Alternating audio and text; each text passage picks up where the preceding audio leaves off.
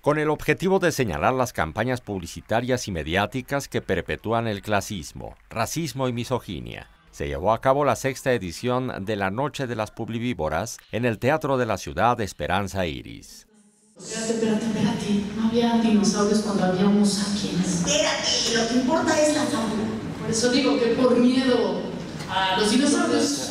Las Reinas Chulas Cabaret y Derechos Humanos entregaron los antipremios a la publicidad que produce estereotipos de género, refuerza el racismo y la discriminación. Entre risas y discursos fuertes contra las campañas de publicidad que promueven la misoginia y homofobia, entre otras prácticas discriminatorias, la ceremonia premió a la publicidad de Hasbro Baby, con el antipremio Ni aprendemos ni jugamos, a Vicky Firm con Ay qué cosita tan bonita, y a Ego en feo, fuerte y formal. Otro de los premios fueron en la categoría No me ayudes comadre. Ganó KFC. En todas partes se cuecen habas. Resultó premiada Falabella. Y el de trayectoria fue para Tecate.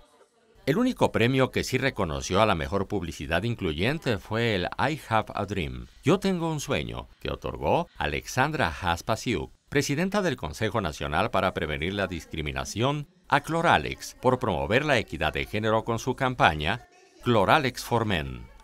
Con información de Maricruz González, e imágenes de Isaac Castruita. Notimex.